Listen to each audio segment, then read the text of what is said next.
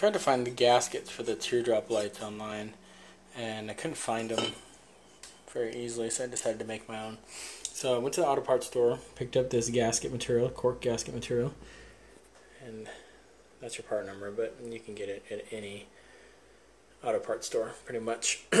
and uh, what I did is I took my lens and I traced it out onto a piece of paper, cut this shape out on a piece of paper, and then I set that in the housing and marked the holes, like the mounting hole here, and this is the light, the, where the light bulb goes, um, and kind of got this avocado shape. Um, but it worked pretty good. So I transferred that to the cork gasket material, got that cut out, and ended up with this.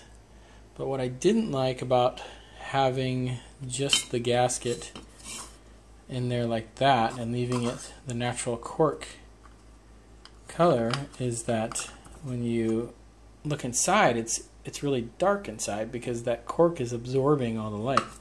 So what I decided to do was take some of this aluminum tape that I had laying around from the roof insulation that I had put in from redoing the roof on the trailer. And I made a little piece and put it on, uh, stuck it to the cork. But you have to leave like an eighth of an inch border all the way around so that the lens can still seal on the cork but you'll have your reflective material in there. So now, when you put this on, you can see that huge difference in that it's shiny in there and reflective, and that'll reflect the light of the uh, the bulb a lot better too. And this lens is really dirty, so I still need to clean it, but it's a good example here. I'll do it again. That's the with the reflective foil tape on there. and this is without that reflective foil tape in there. Big difference.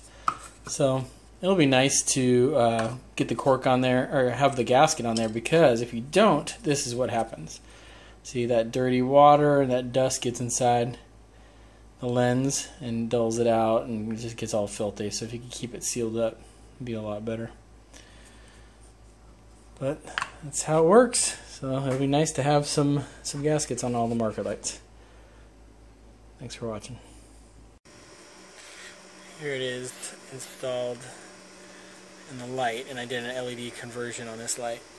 This is the original light and I painted the base silver paint. And that's how it looks with the uh, foil backing sticking out. Unfortunately I don't have all my trailer wiring done, so I can't turn it on for you. But looks pretty good.